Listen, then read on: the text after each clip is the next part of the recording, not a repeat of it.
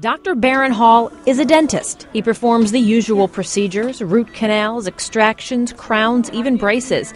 Yet his patients never complain above a whimper. Hall is a vet who specializes in dental care for animals, something he says people hardly think about. Because it's hidden behind their lips and they're eating well and they're wagging their tails, everybody thinks everything is fine. And that's not good because bad dental health in your dog or cat can lead to some serious periodontal problems.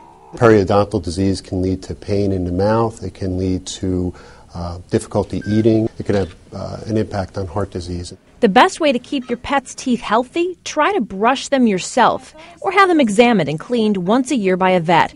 Look for chew toys or treats designed to clean the teeth. And keep an eye on your pet's mouth. Donna Peterson noticed an abscess on her dog Lightning's lower lip. The dog was diagnosed with mouth cancer and had part of her jaw removed.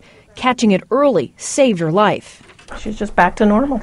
But abnormal bumps aren't the only signs of problems. The biggest thing is bad breath or halitosis. The other thing is fractured teeth. If your pet has these problems, visit your vet for a checkup. If it's serious, they'll refer your animal to a specialist. For today's Health Minute, I'm Melissa Long.